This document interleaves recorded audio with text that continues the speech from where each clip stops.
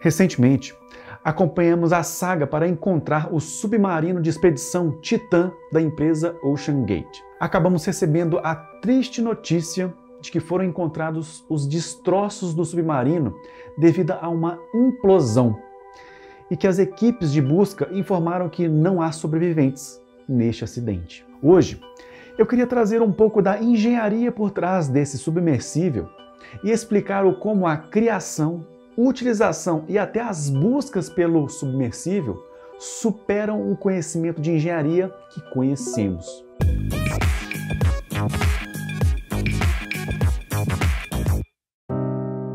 Fala amantes da engenharia, meu nome é Igor Felipe e hoje eu queria falar sobre o acidente com o submersível operado pela empresa Ocean Gate para realizar expedições no Titanic lá no fundo do mar. Este submersível tinha a bordo cinco pessoas e a intenção era fazer uma expedição para ver os destroços do famoso naufrágio do Titanic, que afundou em abril de 1912. Ainda não sabemos na data desse vídeo o que realmente aconteceu lá embaixo.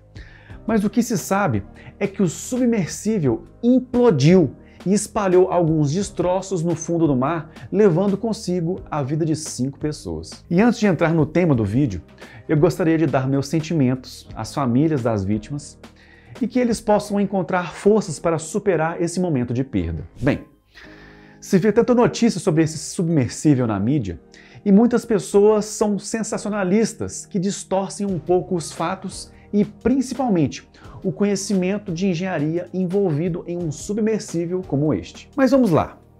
O submersível tinha algumas características importantes. Ele possuía 6,7 metros de comprimento e 2,8 metros de altura e boa parte da sua estrutura era em formato cilíndrico, pesando um total de 10,4 toneladas. Ele possuía quatro motores elétricos, sendo dois verticais, que ajudavam em sua descida, e dois horizontais, que ajudavam na movimentação do submersível.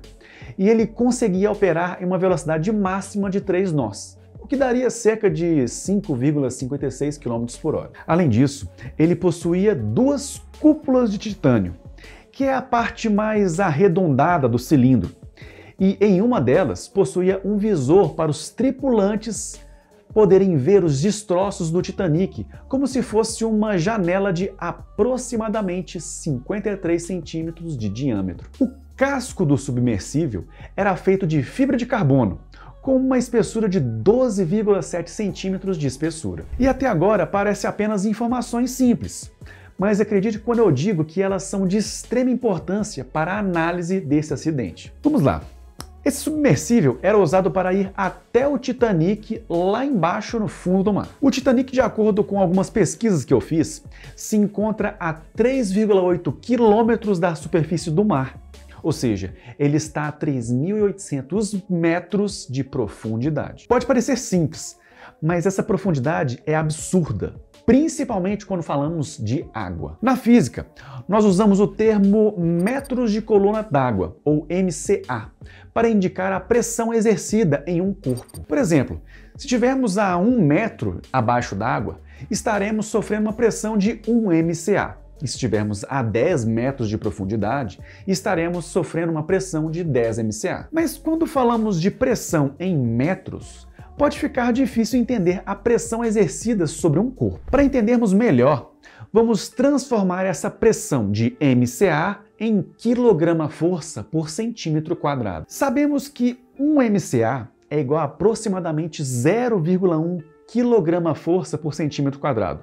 Ou seja, quando você está ali na piscina a 1 metro de profundidade, a água exerce uma pressão de 0,1 quilograma-força em cada centímetro quadrado do seu corpo. É o mesmo que dizer que tem uma força de 100 gramas em cada centímetro quadrado do seu corpo. E só para você ter uma noção, isso aqui é um centímetro quadrado, que é basicamente um quadradinho de um centímetro de largura e um centímetro de comprimento. Agora, se estamos falando de 3.800 metros de profundidade, se usarmos uma regra de 3 simples, estamos falando de uma pressão de 380 kg-força em cada centímetro quadrado. Da mesma forma, imagina 380 quilos sendo aplicados em cada centímetro quadrado lá embaixo. Sim, em cada centímetro quadrado do casco desse submersível seria aplicado uma força de 380 kg-força. E é aí que entra a engenharia desse submersível. O casco,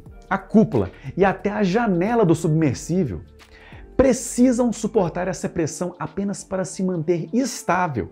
E é claro, fatores de segurança precisam ser levados em consideração. Isso porque nessa profundidade, a variação de pressão que é exercida no topo do casco e na parte de baixo faz a diferença na hora do cálculo pois apenas a altura de 2,8 metros de altura já gera uma diferença de pressão entre esses pontos e ela precisa ser levada em conta. Por isso que a estrutura desse submersível foi feita de titânio e fibra de carbono, que possuem resistências mecânicas altíssimas, capazes de suportar toda essa carga. E você pode pensar que um casco de 12,7 centímetros de casco de fibra de carbono parece pouco, mas vai por mim é algo assustador. Outro fator importante é a temperatura. A temperatura lá no fundo do mar, na região do Titanic, pode chegar a aproximadamente menos 4 graus Celsius.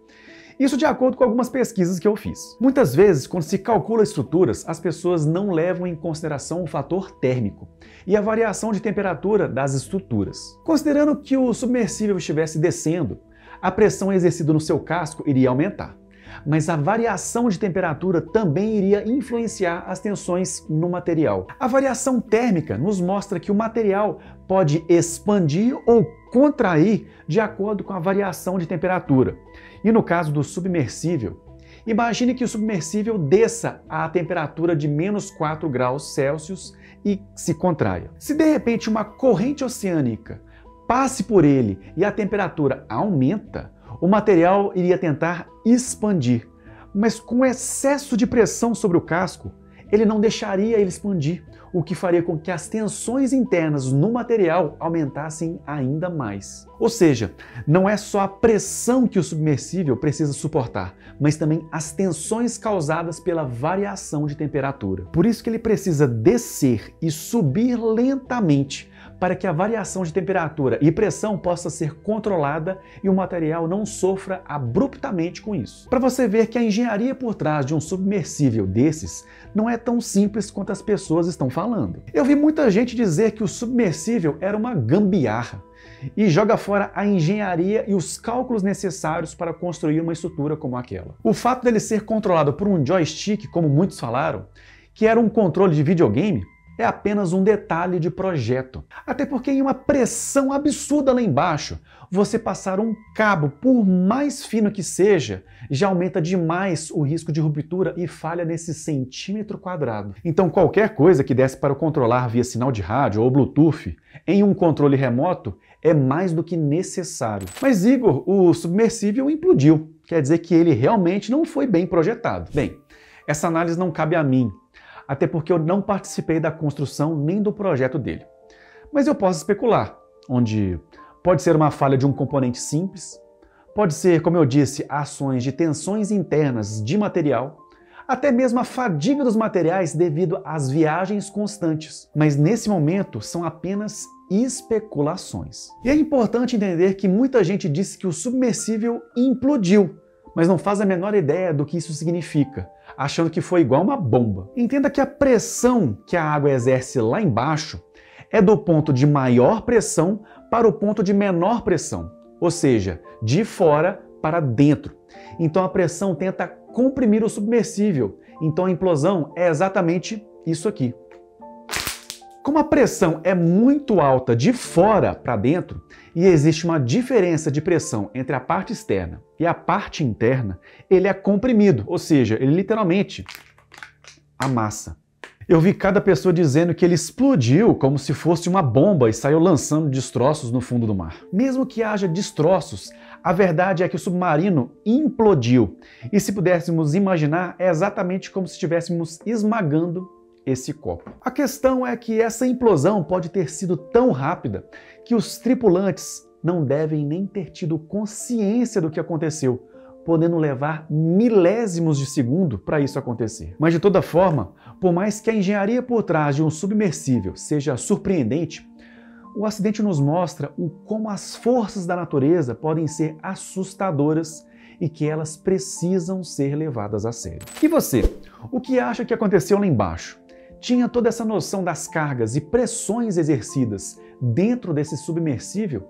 Deixa aqui nos comentários que eu quero saber. Eu vou deixar aqui do lado dois vídeos que vocês podem gostar também e que podem complementar o tema. Se gostou desse conteúdo, não deixe de se inscrever no canal, clicar no gostei e divulgar esse vídeo para mais pessoas. É isso aí, amantes da engenharia. Um grande abraço e te vejo no próximo vídeo.